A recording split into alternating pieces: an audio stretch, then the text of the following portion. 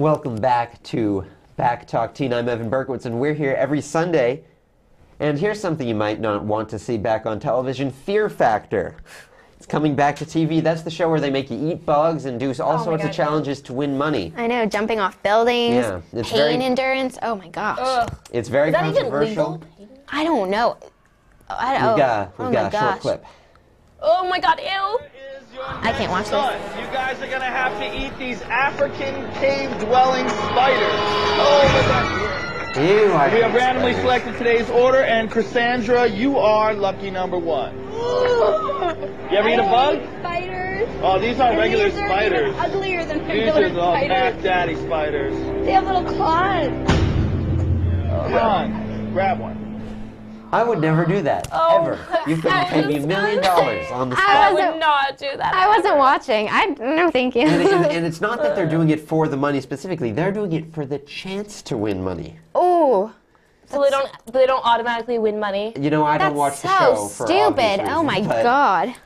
If everyone won, it would be too uh. difficult. But it's it's it's quite a controversy. I know. Theme of the show tonight, and I it's guess. like the thing also is they're putting themselves in danger on purpose, and actually their animals, especially this dog that we're going to talk about, is was put in danger, and he didn't really have a choice, and they're putting themselves in danger, like from the money. for the money, For right? chance of money. And this dog is now considered a miracle dog. Daniel the Beagle was put in a gas chamber, and it was in New Jersey, and he walked out, and he he lived through it. It was Alabama. think it was in Alabama, Oh, yeah. was it? Oh. Yep. Oh, he- Oh, he's now living in New Jersey. Yeah. I'm sorry.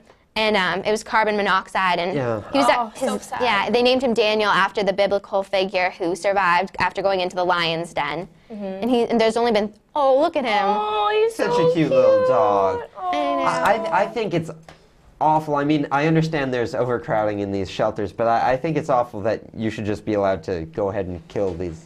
to euthanize know. them with gas. Only Oh, three have lived. I mean, with the gas, it's just horrible. I mean, I mean, it's, injections cost a lot of money, but the gas is Texas supposedly it, so it almost like puts them to sleep almost, and it's really peaceful. That's what they described it on. That's how they described it. They said it's not very painful or anything. And no matter what, I'm totally against euthanizing Oh, dogs definitely, at definitely. Shelters. Like, I know. I, it makes I feel me like wanna, there there are so many alternatives. Mm, I know. It makes me want to adopt a dog. I know, I know. I know. So it makes me feel so by, bad. by the way, uh, Daniel, that dog still looking for a home. So if you want a dog that can survive New a gas chamber, and you're willing to go to New Jersey to get him, he's a hot commodity. So go. a hot dog.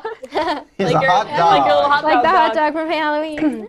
Well, right now we have a very special treat. We're gonna hear um, Lindsey perform again. Lindsey.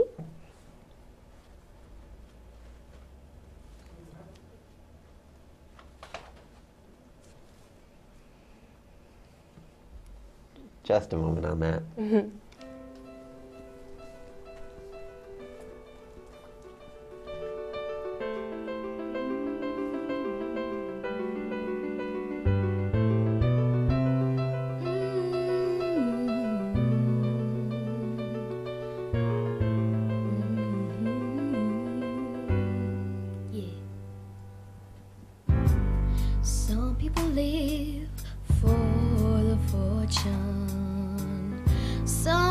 People live just for the fame. Some people live for the power, yeah. Some people live just to play the game. Some people think that the physical things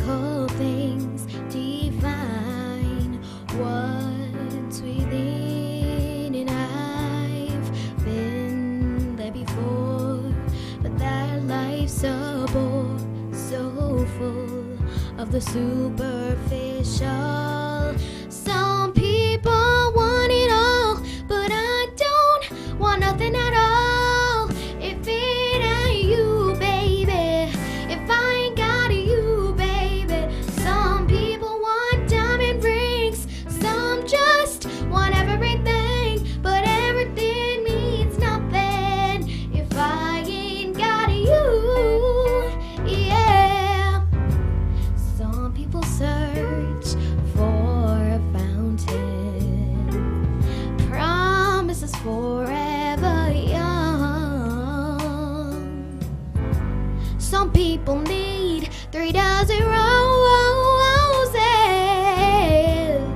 Cause that's the only way to prove you love.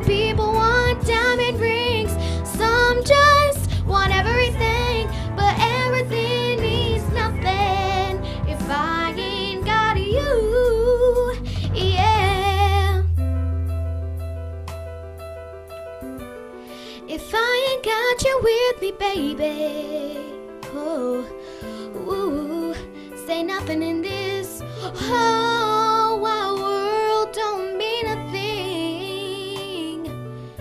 If I ain't got you with me, baby.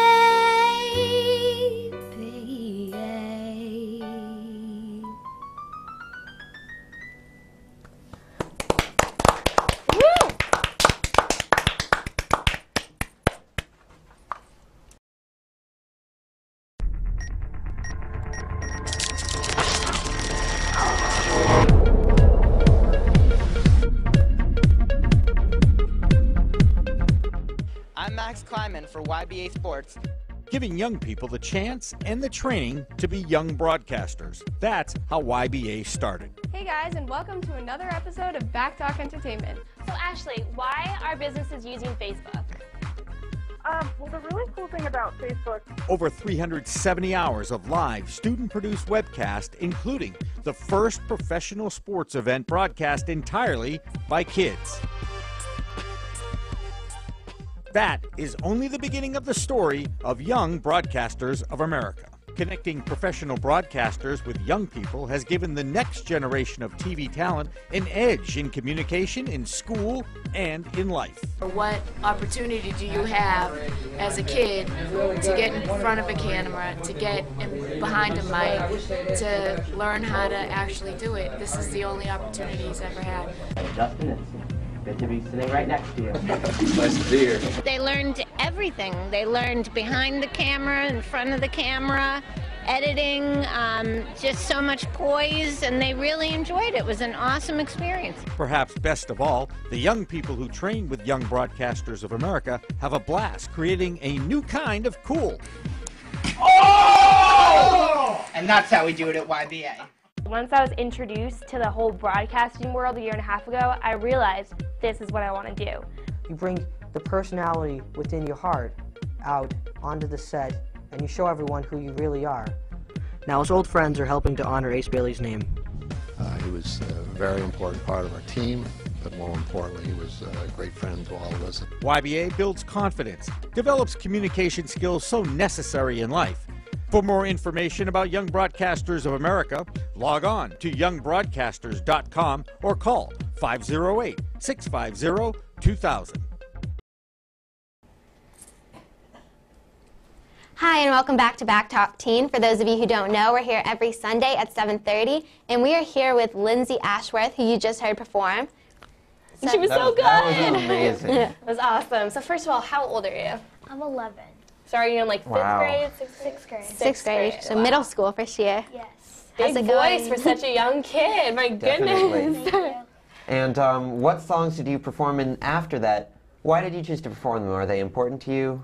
Do you like them as songs? I What- love them, like, since forever. I just, they're awesome songs. And the songs are? Um, Bust Your Windows and If I Ain't Got You. And Bust Your Windows is from, From Glee. Glee. Yeah, yeah, we were just talking about that. so are you a Glee fan? I am. Who's your favorite character? I'm gonna guess Mercedes. But Yes. yes. It is. So smart. hmm Is that your favorite song that she's ever performed? The Bust Your Um, Windows. yes, one? it is. Mhm. Yeah, that was a I good like that one too. hmm So when did you start singing? Like, do you take singing lessons or something? I'm in a singing group called Showstoppers, and we just perform like in local areas. Oh, that's really cool. When did you start? Um, I started four years ago. Wow. So not for long. So wait, Yeah. let me. That's left, age seven. um, Wow. Thank you. do you sing at school? Is it like um, do you do school Like musicals or something? is Um, no, Are you, Oh. are- is it more just pop music, not a, not like the musical theater type stuff? not really. Yeah. It seems like you have a style of like the soulful Yeah. kind of Yeah. R and B. Almost like the um. The, like something Mercedes would sing. Yeah. It's really cool. to bring it um, into the stuff that I know, more like the Adele type stuff. I'm not gonna Oh, say yeah. Amy Winehouse because you don't want to go near that one. But Yeah. Evan? Well, uh, Adele is actually coming into Boston to get um, voice surgery yeah. because she she messed up her, Hmm. her throat and her voice somehow. yeah, they say it's common though, so nothing to worry about. Yeah, yeah. anyway, back to you. Oh, sorry, got So, a little sidetracked When there. you grow up, you want to be a singer, or is this just a hobby, or what? I want to be on Broadway. Wow, I could see that. Are there any specific shows that you really like and you know that you want Um, the role of? Wicked. Oh, hmm that's my Everyone loves favorite. Glinda or Elphaba? Glinda. Oh, I can see it as Glinda. Yeah. Yes.